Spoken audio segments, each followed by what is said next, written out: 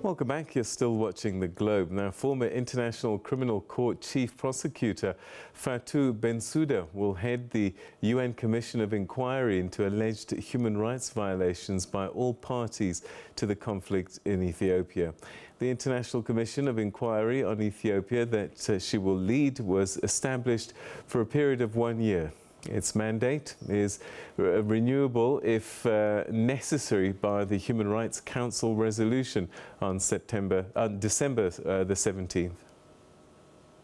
Since its outbreak in November 2020, the war, which began in Tigray, northern Ethiopia, and then spread to the neighboring regions of Amhara and Afar, has been marked by numerous allegations of abuses on both sides. Last November, a joint report by the UN High Commissioner for Human Rights, Michelle Bachelet, and the Ethiopian Human Rights Commission documented possible war crimes and crimes against humanity in the conflict. The commission will be required to provide an oral update on its work during the 50th session of the Human Rights Council in June 2022 and a written report at the following session in September. The conflict between Ethiopian government forces and rebels in Tigray has left thousands dead, more than 2 million displaced, and hundreds of thousands of Ethiopians in near starvation conditions. Well, some analysis on this. We're now joined by Dr. Innocent Badasu, who's an international law expert. Thanks so much indeed for joining us. Good to talk to you again. It's been a while. Yes, thank you so much. I've been around the world. My wow. apologies for not being available. Oh, no, it, it's, it's good to have you. Um, so, this inquiry, um, getting somebody like uh, Fatou Bensouda, I suppose, is quite a big win given where she's coming from. Uh, yes, obviously, um, she has an admirable uh, credentials on the international scene in relation to uh, international criminal and, if you like, uh, issues of prosecutions. And so, yes, it is a big choice. Uh, uh, beyond her credentials, also, you would have to look at the fact that she's an African. And being an African, the idea would be that you would have the Human Rights Council being able to push further the mm. argument that uh, it is part of sustaining African solutions to African problems.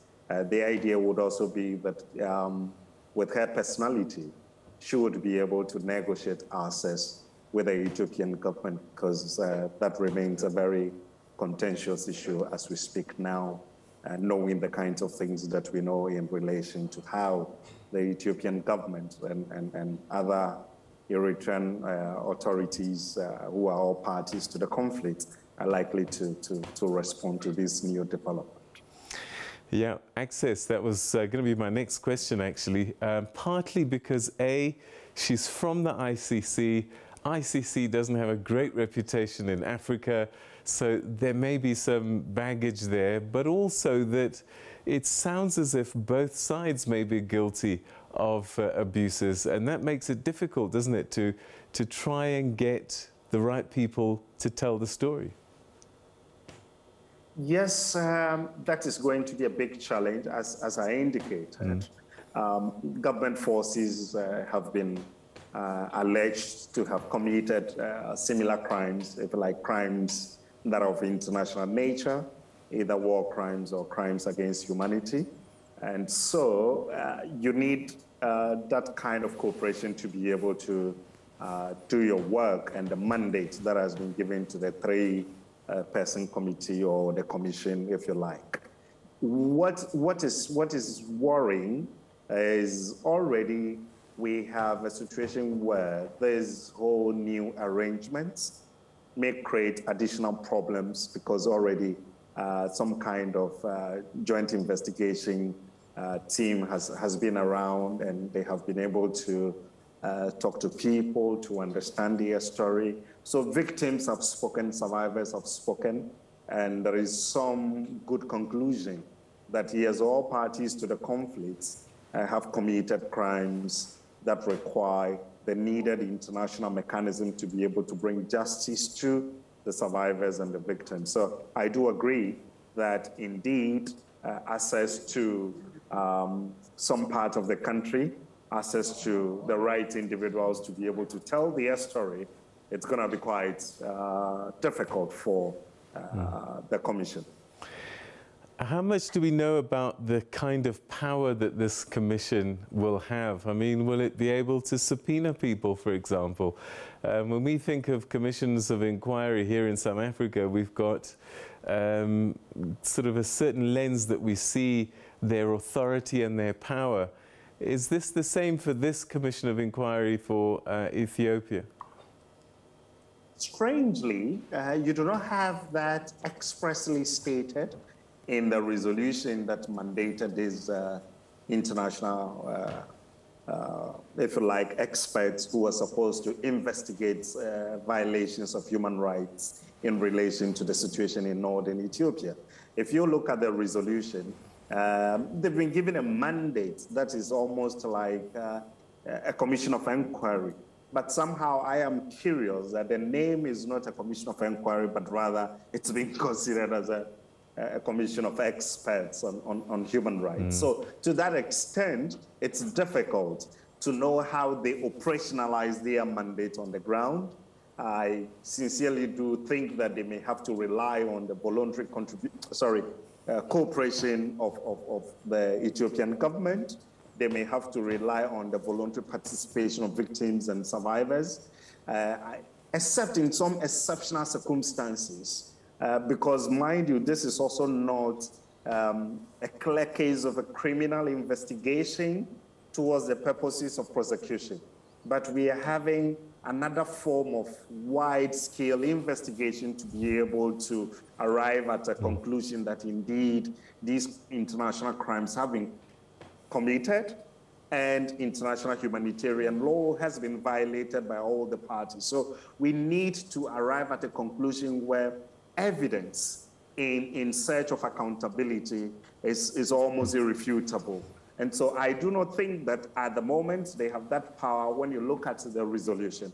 However, if they begin to have challenges on the ground, they can always amend their modus operandi to be able to ensure that they get the right people to be able to arrive at the kinds of things that are needed to deal with issues of accountability in relation to the conflict in northern Ethiopia typically what will happen to a Commission of Inquiry's report?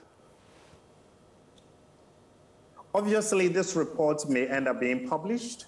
And so the first thing that would happen is that the international community get to know the truth.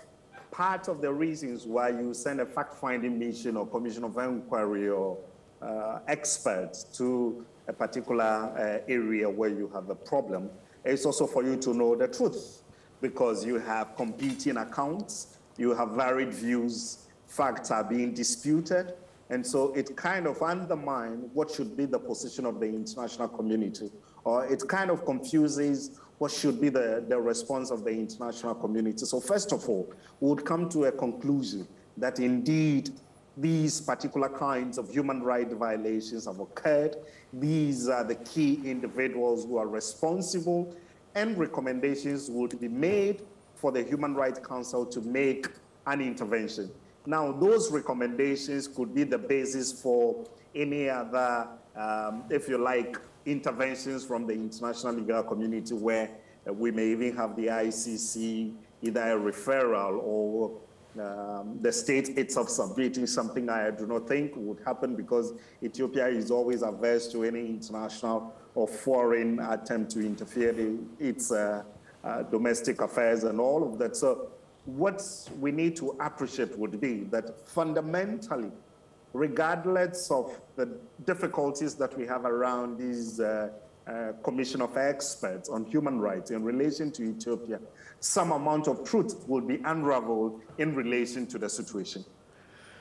All right, so um, how high up could culpability go, do you think? I mean, could it reach the office of the Prime Minister? We have seen the situation where the Prime Minister, at a point in time, himself decided to be a combatant. Uh, he chose to be a, a troop commanding officer.